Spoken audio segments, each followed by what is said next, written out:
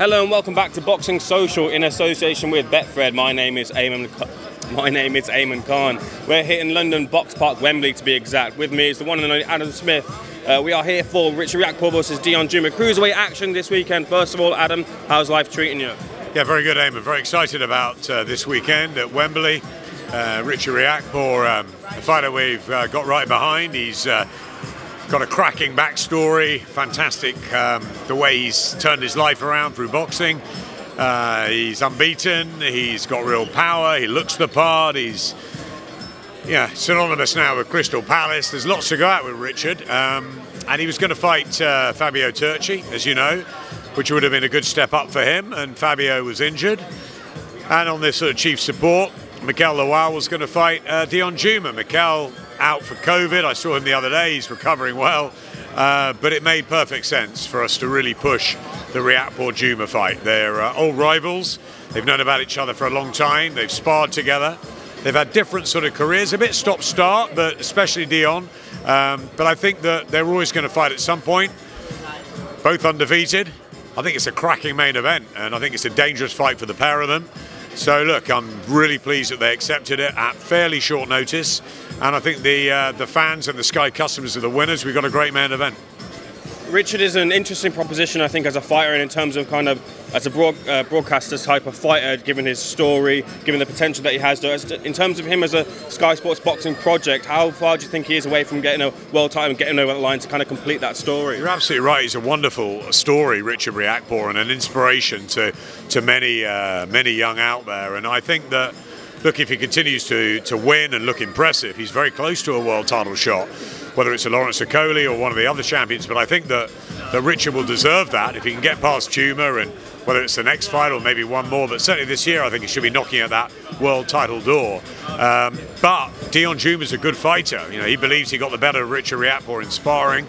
And uh, he'll fancy his chances of causing what will be a mini upset. But you know, he's he's not had the sort of the spotlight that Richard's had, or probably the hard professional fights, but a very good amateur, and he's got lots of ability. It's whether Deion could put that together on that night under the lights. That's the big question mark over Deion. We know Richard can, uh, but it's a really good fight. So let's just see what happens on Saturday before we sort of get too carried away with uh, with world titles and everything else. But uh, we're behind Richard Riakporhe. He's, uh, as I say, a massively great advert for, for British sport. And uh, look, but if Deion Jumah comes in and um, and upsets him, then uh, let's see where Deion can go. So it's fantastic. And I think what's great about it is that both of them can put their undefeated record on the line. And a loss doesn't matter. They'll both come back from it. And uh, I think it's really good that the fans are getting the, the best clashes, which uh, this is one of them a variety of different fighters on the undercard as well. Uh, lots of young talent come through, which seems to be the Boxxer and Sky Sports push. Caroline Dubois, the Azim brothers, who've been sparkling. Uh, talk to me about what takes your eye in the undercard. Yeah, we're building a stable, you know, and I, I said to Ben and that this is a project. This is a you know longer term sort of role rather than a short term fix. We had a fantastic February with some big names. That's a chance to get the young uh, starlets out, the Caroline Dubois, the Adam Azims, who we really believe in. We really believe they're going to go a long way. But you can't jump from one or two fights straight into a world title. It's tough. Um, maybe Caroline will want to push us a bit quicker, but and Adam says he wants to be a world champion really fast. But ultimately, he's got a good step up here against Conor Marsden, Southern Area champion that's the right fight for him. It's all about matchmaking well, it's about developing well, it's about telling the story, getting them the right exposure, and keeping them fighting, you know, different styles so that when they get there, their bigger opportunities at higher levels, they're ready for it. Um, and it's difficult because you know, Eddie and Matchroom, they all went to the zone, so we've had to build a game from scratch. We've got some more, you know, seasoned fighters, the likes of Tasha Jonas and Savannah Marshall, Hughie Fury, many others. But we've also got this young crop of talent, and they need to be fighting, and they need to be fighting regularly. So uh, I'm really pleased. Like Adams in a very, very good match. Uh, his brother Hassan's on the card as well. We've got Joe Pigford, who's unbeaten. Shannon Ryan turns pro. You know, you look at behind you. You know, it's, it's a who's who. Zach Chelli, Jimmy Lee's very interesting as well. You know, really, really good amateur standout, and uh, you know, he believes he can go a long way in the sport. So, yeah, we're, we're going to get behind them all and uh, make sure that they all develop at their own pace, but also try and give as you know good quality of matchups as we can. And that's why I'm really pleased about this show. We haven't got the, the huge names that we had with the Khan Brooks and the Eubanks and the and the Josh Taylors, but what we have got is Riat Jumah. We've got Dan Azeez against the guy that beat him in the amateurs, Matthew Tinker, who he said to me, Dan, the other day, he pasted me. So listen, Matthew's been in America. Not many people know about him as a pro, but he was a fantastic amateur. He's undefeated. He gets a great opportunity. And then you've got Adam in a step up too. I think they're three really good sort of main fights. You've got an English welterweight title fight as well, which is a pick'em. You've got Caroline Dubois, you know, Hassan Azim, and as I said, all the others. I think it's a really good show. And uh, I'm really pleased that, that the fighters have accepted it and that Ben has uh, delivered what I wanted.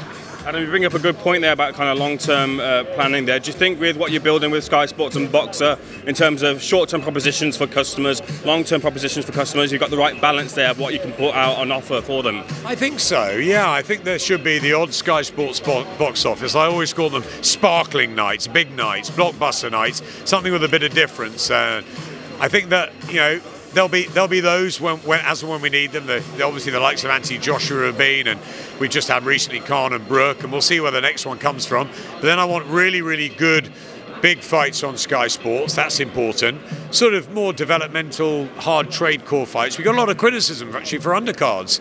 Um, in, in the in, in February, whereas actually we saw the main events as being incredible, but we listened to everything, and I think Ben's coming amazingly far in, in, in six, eight, month, eight months of working with Sky. He had a base, obviously, with the tournament shows, but he's come onto a much bigger level. I think he's done fantastically what, what he's delivered. Top Ranker delivered already with Taylor Catterall, and, and will deliver more, and they've delivered with a lot of global stuff coming in through the night, fantastic fights, and many more to come this year. So it's a great sort of dual deal.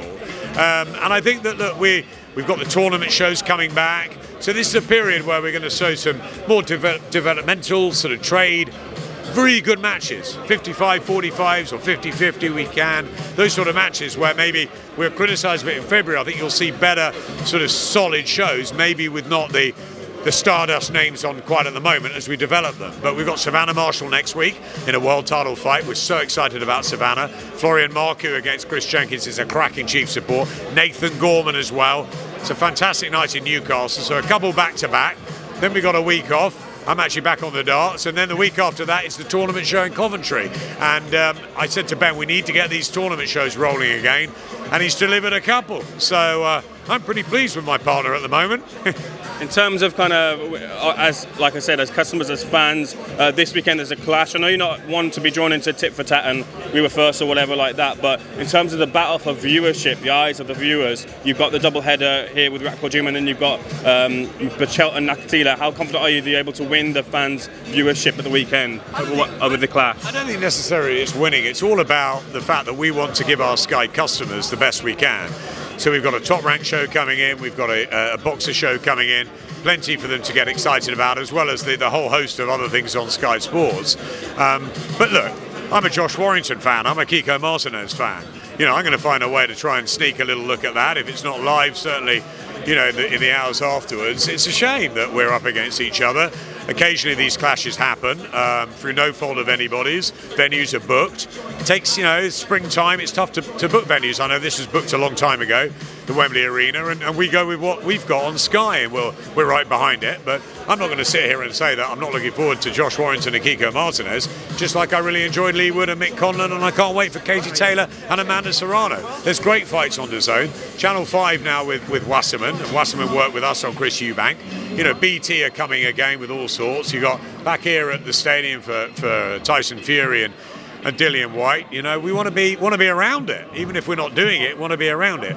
But I'm really pleased with where Sky and Boxxer have come in a short period of time. I think February proves what we're capable of, and I think we're going to go from strength to strength and look out for some uh, big news, big announcements soon as we uh, continue to stay in our lane, build slowly, and do what we can for our Sky customers uh, as best as we can. We can't have everything. We don't have everything. Eddie Hearn's a fantastic promoter over on the zone. Frank Warren's a brilliant promoter on BT. That's great. Competition's healthy. and we're uh, we're we're getting back.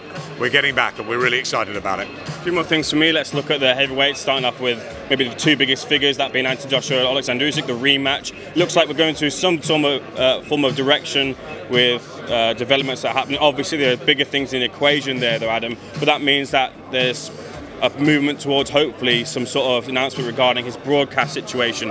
I know you've said in the past that there's a lot of moving parts with that too, but can you give us any kind of updates as to where that stands? Well, there's a great deal of moving parts, and obviously our hearts and our thoughts at the moment are, with Ukraine and the fact that the fighters have been, you know, Vitali, Vladimir on the front line. It's extraordinary. It's it's amazing to see, and the love of their country. And you know, we want obviously it's a humanitarian situation in the world, and everybody wants that as calm and as peaceful as possible, as quickly as possible, and, and the fighters have to make their decisions. Vasily Lomachenko and Alexander Usyk were back in the Ukraine. Um, I believe that the senior ministers have said that they would like them to go out and fight and spread the good word of Ukraine and get back to their careers. I think, from what I understand, Vasily is staying in the Ukraine, but Alexander might well uh, come back, and if he does, we welcome him back and. Uh, and Anthony will go straight into that fight, which is what Anthony Joshua's all about, taking the big fights, trying to get his belts back. And whether he should or could have had an interim fight, maybe that would have been useful with, with Angel. Looks like he's going to go straight back into the fire. Obviously, as you say, there's a lot of uh, things happening, a lot of moving parts, spinning plates, uh, as well as our, our broadcast deal with Anthony. It's obviously came to an end after the Usyk fight, the first one. I'm very confident we'll uh, stay with Anthony Joshua, always have been. I think we're very good for each other. I think he loves Sky and the brand and the platform, and we love having him. He's been a great ambassador, and uh, long may that continue, hopefully, to the end of his career. So, negotiations going on behind the scenes in both parts, and hopefully, there'll be announcements uh, on both parts pretty soon. Two final things from me. Sure. Ben, ben mentioned that you and you and him were working on in the wake of uh, the Taylor Catterall uh, controversy, working on proposals to put forward to the board. Where are you with those proposals that you're working on? Yeah, I think first and foremost, we've got to say the British board are the best in the business. They've been fantastic for so many years. Uh, but Robert said he's willing to, you know, to listen to what other people have got to say. And Ben and I feel very strongly about what happened in Glasgow. Um, and look, we just want to move the sports, sport, you know, forward in the right way. And um, it's very difficult. You know, judging is subjective. You know, we've got our own unofficial judges, the Matt Macklins, the Carl Frochs, the Dave Coldwells on the uh, you know on our on our team, and, and no no one's right or wrong the whole time, and everyone's got their opinion.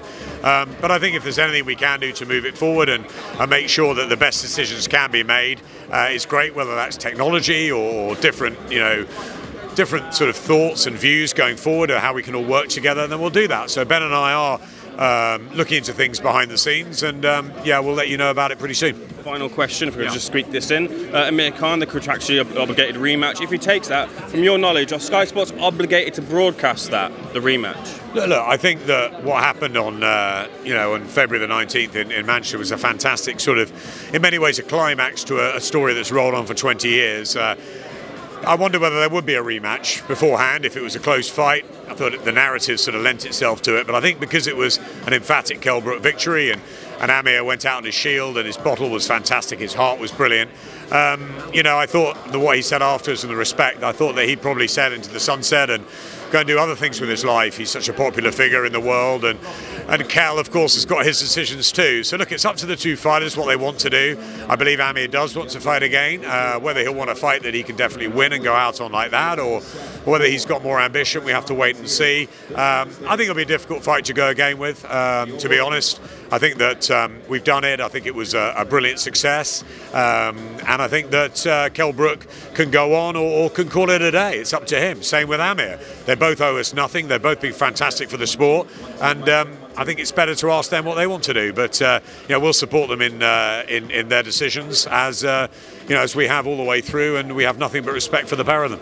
Adam, thanks for speaking to Boxing Social. All the best. Uh, looking forward to the press conference. Thank you.